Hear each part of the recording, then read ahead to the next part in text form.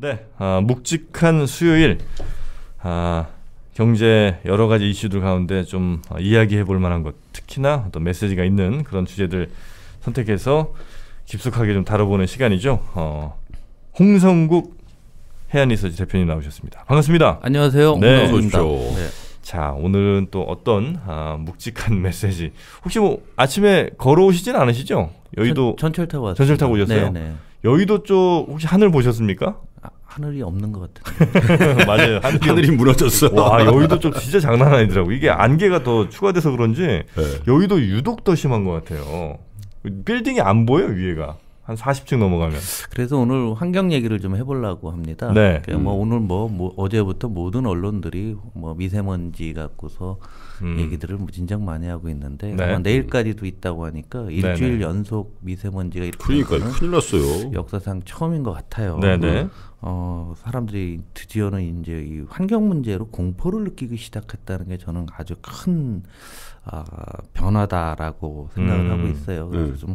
좀큰 그림으로 해봐야 될 것 같습니다. 뭐 어, 최근에 증시도 보니까 마스크 만드는 회사들이 아. 월요일 날 10%나 올랐고요.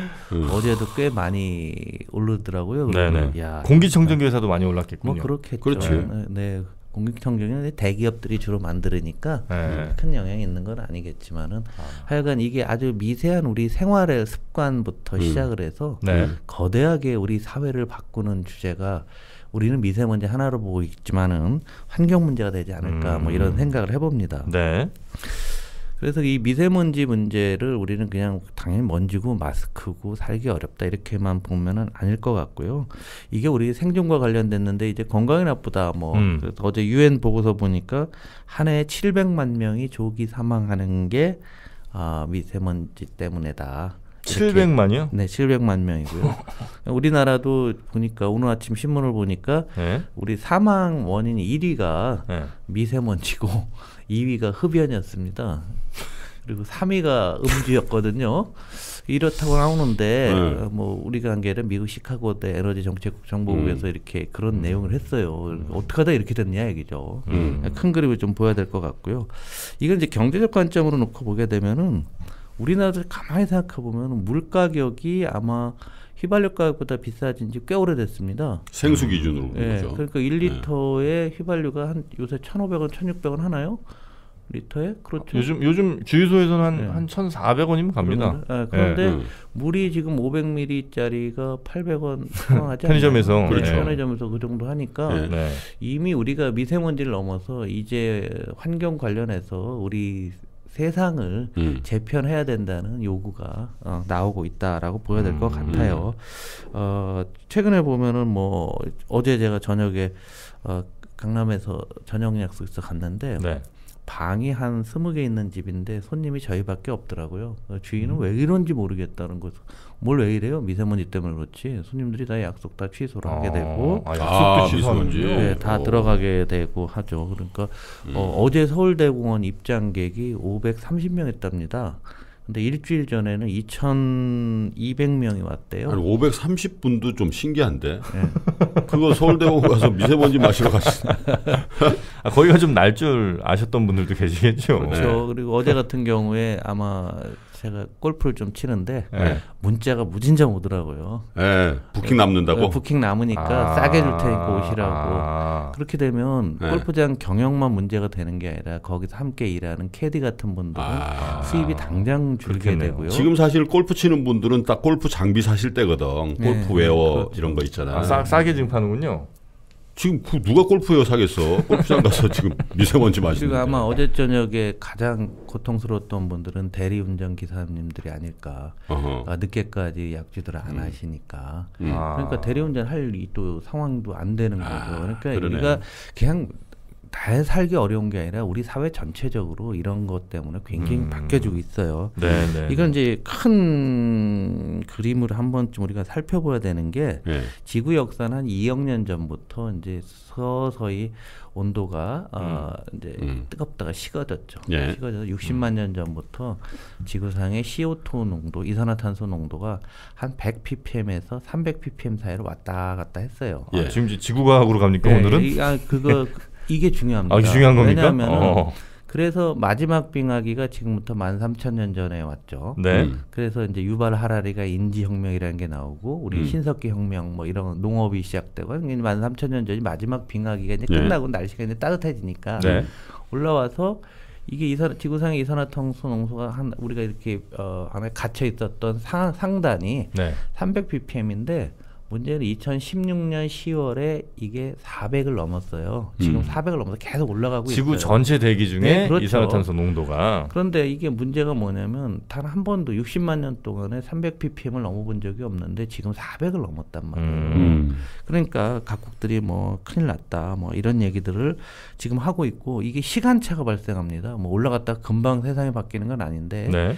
아마 기억나시겠지만은 불과 한 달 전에 미국 시카고인가 미니애폴리스가 영하 40도인가 그래 맞아요. 갔었죠. 예. 어. 유튜브- 동부도 엄청 추웠어요. 네, 유튜브 네. 동영상 보니까 물을 이렇게 뿌리니까 그냥 바로 음. 눈이 내려올 정도로 네네네. 뜨거운 물을 뿌렸을 때 이런 상황이 음. 있었고 음. 반면에 호주나 이런 데들은 아주 그냥 뭐 지금 40도 시험 때문에 넘어갔고. 난리도 아닌 네. 상황들 이런 모든 것들이 미세먼지와 연결해서 우리가 어, 세상을 다시 한번 보여야 되지 않겠는가라는 거죠. 음. 그래서 이걸 진화론적으로 얘기하게 되면은 우리 출산율이 지금 작년도에 0.98명 아니에요? 그렇죠. 세계. 최저거든요. 한 명이 안 돼요.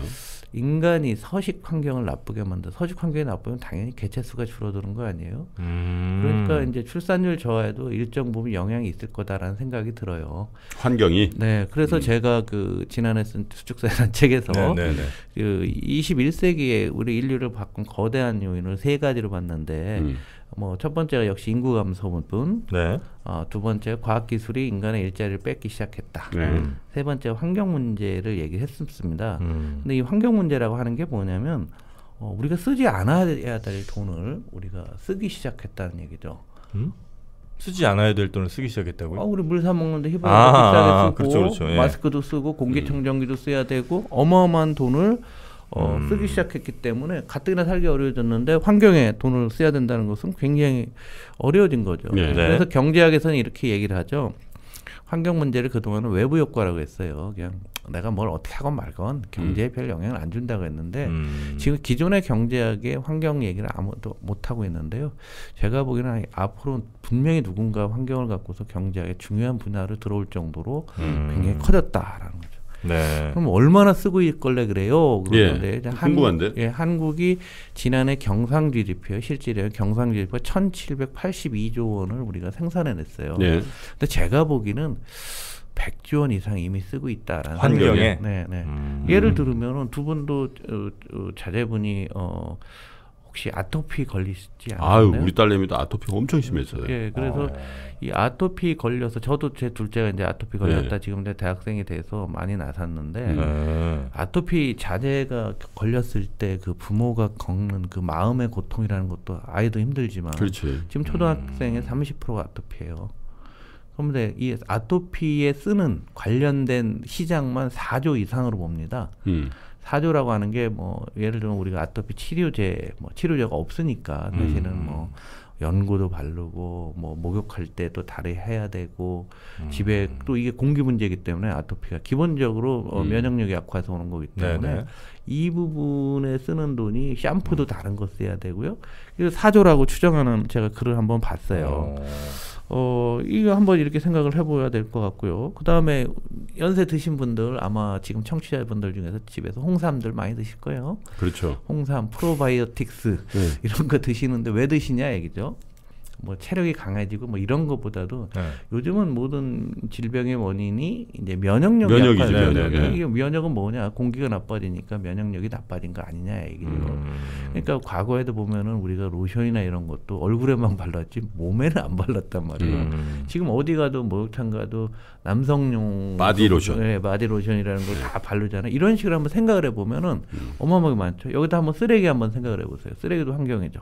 음. 쓰레기 분리수거 비용, 우리가 쓰레기 수거하는 비용 아, 어마어마하게 어마어마하죠. 많죠. 예. 기업들은 또 어, 공해를 배출하니까 어, 부담금. 공해 부담금이라고 음. 또 탄소 배출권도 사야 되고 이게 한 제 생각엔 100조 이상인데 어느 추정자를 보니까 이제 어 1년에 가장 빠르게 어 저기 지- 어, 증가하는 부분이 바로 여기 지금 근데 대표님. 근데 예. 그거를 쓸데없는데 쓴다라고 꼭 봐야 됩니까? 그런 일들 때문에 직업이 생기고 그런 일들 아, 때문에 그럴, 수, 그럴 수는 있죠. 예. 어, 뭐, 물론 맞는데 과거에는 부담하지 않던 비용이잖아요. 음, 않던 비용을 부담하게 되니까 음, 국- 입장에서 예, 국민 경제 전체로 보게 음. 되면은 부담이 된다라는 얘기예요. 예. 어, 예를 들면 뭐 최근에도 세상을 바꾼 거 중에 재밌는 게 아마 한, 한 10년 전인가요? 그 MB가 자전거 도로 사대강 할때 네네. 가장 각광받았던 증시 종목이 삼천리 자전거. 삼천리 자전거죠. 기억나시죠? 알투 스포츠인가 뭐 그런 것도 있었고. 예, 알토는 이제 알토, 저기 네. 저기서 하는 거죠. 네. 알톤 스포츠가 이녹스라는 회사에서 하는 네. 건데 그러니까 막 우리가 자전거 길을 참 많이 만들어 놨는데 그래서 어제 궁금해서 오늘 환경 얘기를 해서 삼천리 자전거 그 재무제표를 봤어요. 네. 봤더니 매출이 줄고 있고 적자가 나고 있더라고요. 아, 그렇겠죠. 예, 뭐 물론 뭐 그 프로들은 뭐 수입품 고급품을 사고 뭐 할지는 모르겠지만 공기질이 자꾸 나빠지고 겨울에는 너무 춥고 여름에는 너무 작으니 너무 음. 더우니까 음. 자전거 탈 사람이 없는 거예요. 음. 그렇게 되니까 이런 회사가 아주 훌륭했던 회사들이 굉장히 어려워지게 음. 되고 반면에 우리 코웨이라는 회사가 있는데 음. 코웨이 웬만한 집안이 한 달에 한 5만 원에서 10만 원 다 뜯기고 있을 거예요. 그렇죠. 정수기에 정수기. 맞아요. 비데, 세금처럼 내고 비데, 세금처럼. 또 연수기, 연수기. 요즘 공기청정기, 예. 뭐 별의별 걸 다 뜯기 이게 다 보면 또 환경과 관련된 거예요. 야, 그 윤석금 회장도 대단해. 예? 그거 해가지고 코웨이 망해가지고 코웨이 뺏겼잖아. 네, 다시 샀잖아. 네, 그렇죠. 1조 몇천억 빚내가지고 네, 다시 사버렸더만. 네, 맞습니다. 근데 이제 공유 경제로 가는데 옛날 같지는 않은 네. 것 같아요. 그 시장 네. 상당히 금방 포화가 되는 것 같고. 그러니까. 네. 음. 그리고 잘 보시면 아마 사모님들이 아 요즘 친환경 제품들을 많이 드십니다. 한살림이라는 아, 그 유명한 맞아요. 매장 있고 초록말인데 한살림 같은데 보면 저희 안식구가 제 말을 안 믿어도 음. 한살림에서 뭐 이게 몸에 좋은 겁니다. 뭐, 뭐 이렇게 얘기하면은 무슨 종교 같이 믿을 정도로 한살림을 광팬이에요. 안식구가. 대표님 건강 위해서 그런 거죠. 어, 그 뭐 집에서 별로 안 먹는데 또 이렇게 그러더라고요. 그- 그렇습니다. 그래서 이게 이제 우리 생활을 이렇게- 이렇게 한 번씩 짚어보니까 그렇죠. 좀 더 멀리 좀 보면은요. 네. 글로벌 경제에도 영향을 줘요. 지금, 예. 지금 우리나라 달러가 지금 약세가 돼야 되는데 왜 대충 버티고 있냐? 이 이유가 달러의 반대편에 있는 유로화가 문제가 생기고 그렇죠. 유로 경기가 어 미국과 좀 반대 방향으로 좀 움직여줘야 되는데 예. 음. 유럽, 미국도 나빠지고 있는데 유럽 좀 전혀 헤어날 기미는 못 보이고 있죠. 그래서 예. 가장 큰 원인이 자동차 생산 그렇죠. 문제잖아요. 예. 자동차의 본질이 이게 바로 한국에서도 문제가 됐던 디젤의 어떤 문제죠. 음. 디젤이 그런데 디젤이 이제 오염 문제 갖고서 어, 그동안에 이 문제로 뭐 BMW에서 거짓말했고 어쩌고저쩌고 하는데 음. 문제의 본질이 어, 이제 친환경 차로 가야 된다. 그런데 유럽의 자동차는 기본적으로 내연기관을 갖고 있다. 음. 그러니까 유럽의 어떤 큰 경기 문제도 이게 영향을 주면서 음. 이게 환율을 통하고 세계 경기를 통해서 한국에도 아, 영향을 그러네요. 주고 있는 예. 거죠. 음. 또 이게 정치 쟁점화도 되고 있습니다. 음. 이게 이제 환경 문제가 되면 이 님비 현상이라는 부분들, 음. 그러니까 환경 관련 쓰레기 처리장 이런 문제로 갈등이 끊이지 않는 부분들이죠. 네. 앞으로 어떻게 할 건지 굉장히 중요하고요. 한국에서 아마 이 원전 문제가 또 이 미세먼지 문제와 연결이 돼서 음. 지금 뭐 주범이 화력발전소라고 나오니까 화력발전소를 줄이기 위해서는 어, 이 원전 문제를 어, 과연 어떻게 할 거냐라는 이런 생각들 하다 보니까 이게 정치 갈등화 되고 있고요. 음. 뭐 벌써 이번 주에는 그러잖아요. 왜 정부는 아무 대책도 안 내느냐. 음. 음. 그 야당은 공격을 하고 정부도 사실 갑자기 이게 왔는데 무슨 대책을 갑자기 낼 수가 있겠어요. 음. 그러니까 그 이런 정치 쟁점화되고 있는 거죠. 그리고 우리나라 기업들이 필리핀에 쓰레기를 수출했다가 다시 이제. 그러니까. 컴백하고 이런 국제 무역에도 영향을 주고요. 이게 미국의 리더십에도 영향을 줍니다. 미국이 이제 과거에 교토 정서도 서명을 안 했었고 이번에 네. 파리 협약에서는 아예 탈퇴- 탈퇴해버리고 탈퇴해버렸죠. 예. 그러니까 미국의 리더십이 굉장히 저하가 되는 거예요. 그러니까 음. 미국이 뭔가 세계를 리드해야 되는데 환경 문제에 있어서 미국이 음. 뒤로 처지게 되니까 다른 국가들이 미국을 우습게 보고 어, 도덕적으로나 윤리적으로도 미국을 하찮게 여기게 되는 거. 그러다 보니까 이번에 화웨이 문제 보면은 어, 제가 한 이, 3주 전인가 화, 화웨이 얘기 말씀드렸었는데 네. 어, 이게 유럽이 미국 전선에서 이탈하고 있잖아요. 예. 그러니까 미국은 화해거 쓰지 말자고 하는데 유럽에서 음. 어, 우리는 좀 검토해 볼게. 그런 것들도 사실은 이런 미국이 어, 환경 문제에 크게 영향을 안 주고 있기 때문에 음. 아 이런 현상들이 벌어지고 있는 게 아닌가 하는 게 생각입니다. 그래서 음. 이제 앞으로 우리가 생각을 해봐야 될게 네. 한국 사람들은 4차 산업혁명 하니까 IT 산업이 제일 큰 걸 알지만 사실은 IT보다 더 큰 게 바이오 산업이 더 큽니다. 그렇죠. 예. 왜냐면 IT는 핸드폰 한 번 사면 땡이지만 한 달에 통신요금 내는 게 다잖아요. 개인 네, 네. 입장에서는 바이오는 맨날 뭘 먹거든요. 음. 그런데 이제 앞으로 환경 같은 거는 맨날 먹는 것과 관련되고 우리 사회 시스템을 바꿔야 되기 때문에 네. 환경 시장이 더 커질 수 있다라는 어. 뭐 그런 생각도 해봅니다. 좀 뭐 요즘 보면 스타벅스 같은 데도 빨대를 종이 빨대를 네. 한다- 네. 네. 그렇죠. 한다든가 아니면 음. 뭐 어, 이- 이런 식으로 뭐 어마어마하게 많은 것들을 음. 바꿔 나가니까 결국은 이제 앞으로는 큰 그림으로 보면 살아가는 방식들을 우리가 아, 이 산업혁명 이후 250년간 살아오다 보니까 이렇게 지구를 더럽혔다는 거죠. 음, 음. 살아가는 방식을 다 바꿔야 될 것 같다라는 거예요. 근데 여기서 한국이 네. 음.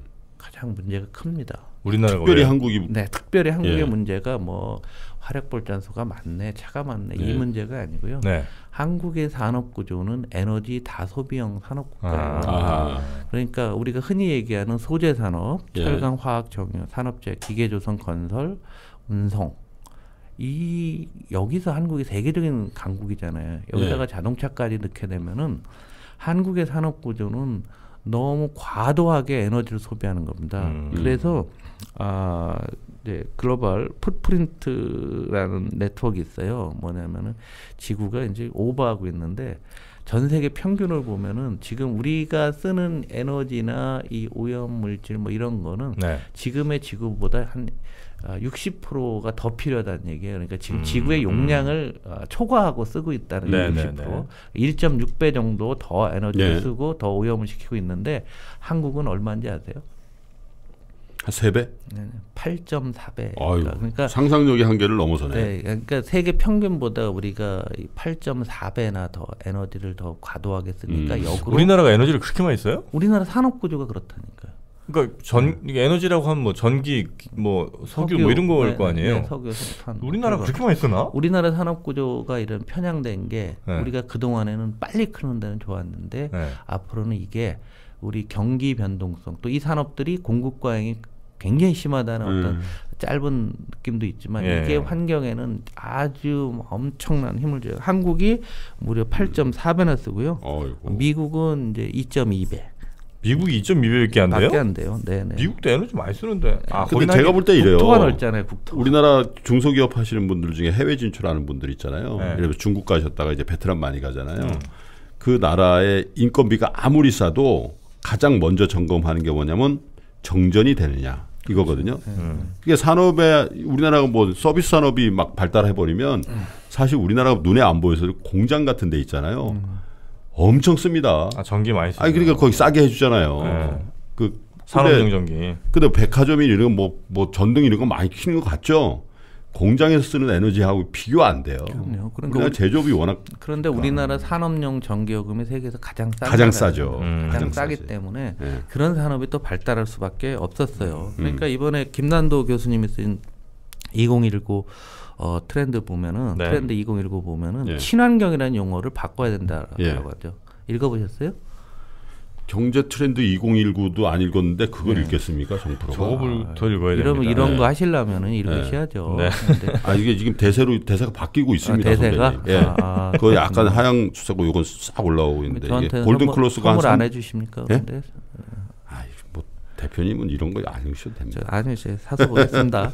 근데 거기서 친환경이라는 용어를 필환경으로 반드시 필자. 음. 이제는 모든 것에 반드시 필자가 들어가야 된다라고 얘기를 했어요. 네. 그런데 뭐 아주 이, 이분이 언어의 마술사니까 영어를 참 잘 만들어내셨는데 뭐 네. 맞다라고 봐요. 그래서 짜잘하게 무슨 차량 이부제 뭐 이런 이런 게 아니라 음. 우리가 살아가는 방식 뭐 이런 걸 다 바꿔야 될 것 같고요.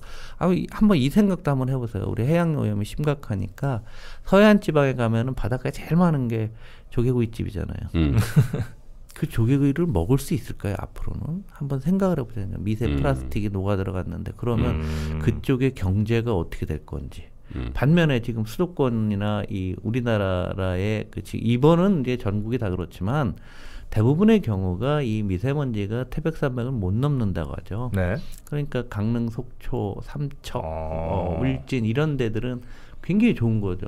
음. 어 그러다 보니까 지역 간의 어떤 차별화도 생길 수가 있어요. 음. 그러니까 이 우리가 오늘 미세먼지를 보면서 생각해 볼 건 우리 국가가 나아가야 될 방향이 여러 가지가 있겠죠. 네. 우리 민주주의를 강화하고 또 경제도 계속 성장해야 되고 음. 분배 평등도 해야 되는데 음. 이런 모든 것들을 둘러싸고 있는 것은 환경이라는 거죠. 그래서 음. 이 환경에 대해서 많은 투자를 하게 되면 역으로 아까 말씀하신 대로 일자리도 생길 수도 있고 그래요. 그래서 음. 정부 관계자들도 한 번쯤은 이게 지금 계속 미봉책만 해온 거예요. 음. 지금 이 문제가 무슨 현 정부의 문제겠습니까? 그럼 아, 전 정부의 그렇죠. 문제예요. 네.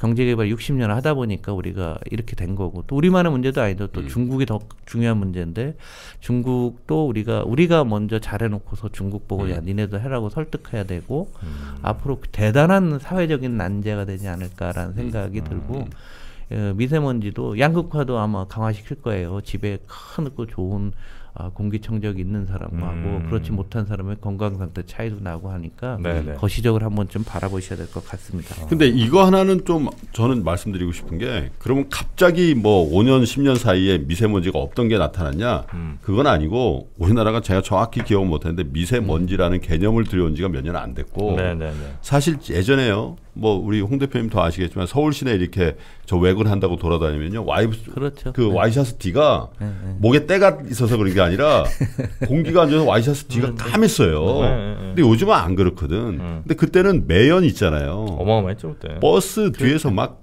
그랬는데 경유 사실. 지금 다 그렇죠. 예. 근데 왜 미세먼지가 이렇게 사회적으로 큰 무리를 일으키냐? 사실은 우리가 몰랐던 부분도 이제 알게 돼서 그런 부분도 있다는 거죠. 건강에 대한 관심이 많이 높아졌고. 그러니까 네. PM 2.5라는 것에 대해서 이제 알기 시작한 그러니까요. 거죠. 그러다 네. 보니까 그런 거죠. 알겠습니다. 앞으로 어, 뭐 많이들 얘기를 했습니다만 환경이 음. 더더욱 더더욱 중요해질 것 같다는 말씀 아마 해주신 것 같습니다. 그리고 네. 산업 구조 자체도 아마 환경 때문에 많이 바뀔 것이다. 음. 아, 그럼 우리, 우리도 이제 거기에 대비를 좀 해서 강원도 쪽에 집 하나. 여기 벌써 강릉 속초 집 땅 사야 되겠다는 분들이 많이 나왔어. 자 오늘도 어, 우리 경제에 큰 해안을 주신 해안 리서치의 홍성국 대표님 오늘 말씀 고맙습니다. 감사합니다. 네. 고맙습니다. 네.